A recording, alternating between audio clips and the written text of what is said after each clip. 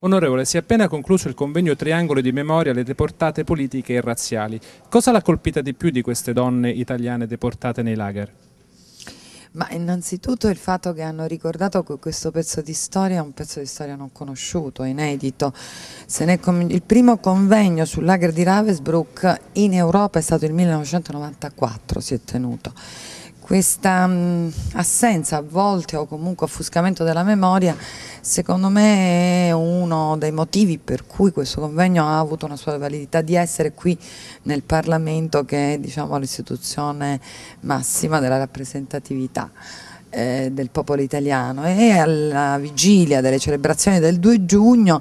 eh, diciamo, abbiamo sentito la necessità di raccontare e di raccontarlo ai giovani perché voglio far presente che c'erano quattro istituti superiori, di media superiore ma anche di media inferiore romani oggi presenti nella sala della regina che hanno assistito con grande eh, attenzione al racconto e alle testimonianze di queste donne deportate, alcune novantenni che con grande lucidità ci hanno raccontato la loro storia, erano quindicenni quando furono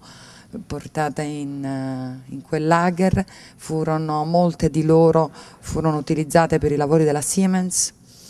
patirono gli stenti, il freddo, la fame. Di 132.000 donne che dal 1939 al 1945 furono rinchiuse in questo lager conosciuto come l'inferno delle donne, solamente 40.000 sono rientrate, le altre sono tutte morte. Per questo motivo ho presentato un disegno di legge che prevede l'istituzione del settantennale, quest'anno ricorre il settantennale della resistenza e della liberazione, perché quei valori su cui si fonda la nostra Carta Costituzionale,